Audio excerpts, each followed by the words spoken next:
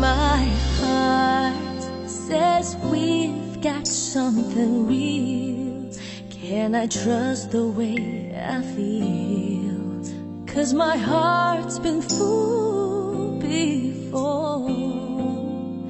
Am I just seeing what I want to see?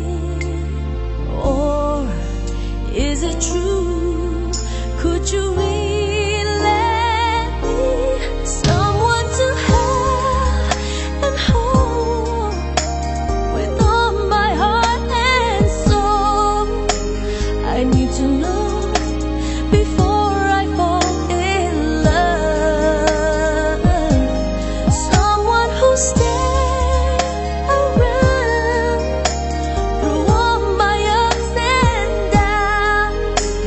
Please tell me now before I fall in love.